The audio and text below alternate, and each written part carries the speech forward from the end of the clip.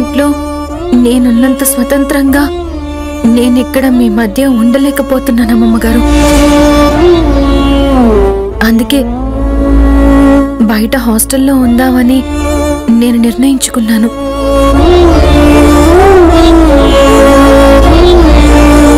నన్ను తీసుకొచ్చి ఈ ఇంట్లో పెట్టింది మీరే కాబట్టి మీరొచ్చాక మీకు చెప్పి మీ ఆశీస్సులు తీసుకుని వెళ్ళిపోదామని ఎదురు చూస్తున్నాను. అయితే వెళ్ళిపోవాలని గట్టిగా నిర్ణయించుకున్నావన్నమాట. అవునమ్మగారు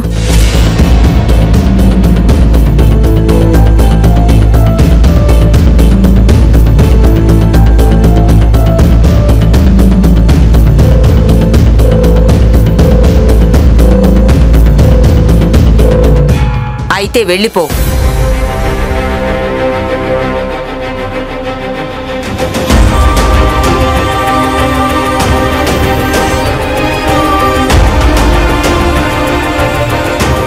ఇక్కడి నుంచి వెళ్ళిపో.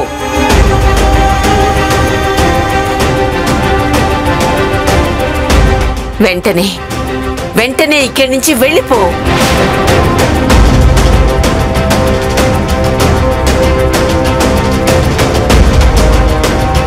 కానీ వెళ్ళబోయే ముందు ఒక్క నిజం నాకు చెప్పి వెళ్ళిపో.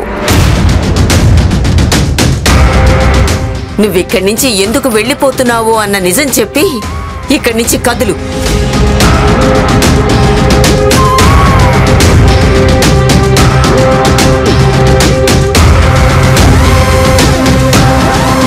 నా మీద ఒట్టేసి మరీ నిజం చెప్పు.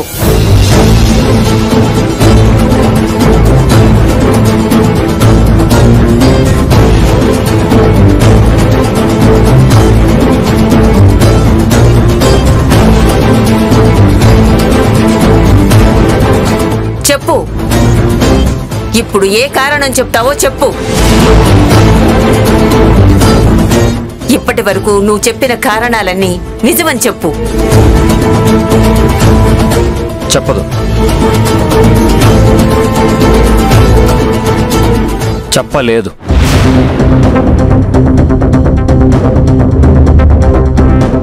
నేను చెప్తాను. ఆ నిజమేంటో నేను చెప్తాను. ఏంటా నిజం? తన ఇంట్లో ఉండడం. ఇంట్లో వాళ్ళు ఎవరికీ ఇష్టం లేదు.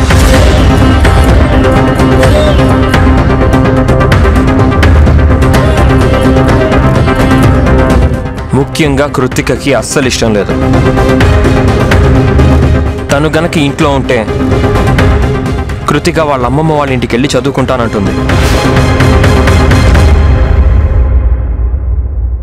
అసలు తనని ఇక్కడికి పిలిపించిందే కృతికకి ట్యూషన్ చెప్పడానికి. కృతికే తన విషయంలో అంత ఇబ్బంది పడుతున్నప్పుడు ఇంకా తనని మన ఇంట్లో ఉండనివ్వడం ఎందుకు? అందుకే నేను తనని లగేజ్తో సహా తీసుకెళ్ళి వర్కింగ్ ఉమెన్స్ హాస్టల్లో దించొచ్చాను.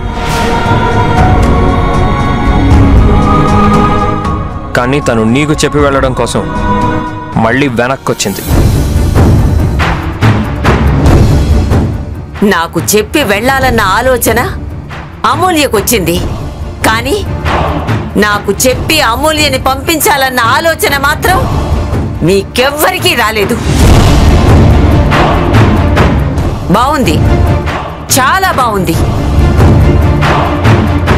సర్లే ఎవరి ఆలోచనలు వాళ్ళకుంటాయి. నేను అమూల్యని జాగ్రత్తగా చూసుకుంటానని చెప్పి వాళ్ళ మావయ్యకి మాటిచ్చాను. ఇప్పుడు ఉన్న పళ్ళంగా హాస్టల్కి పంపించేస్తే నా మాట పోతుంది. నా మాట పోకుండా ఉండాలి అంటే అమూల్య ఈ ఇంట్లోనే ఉండాలి.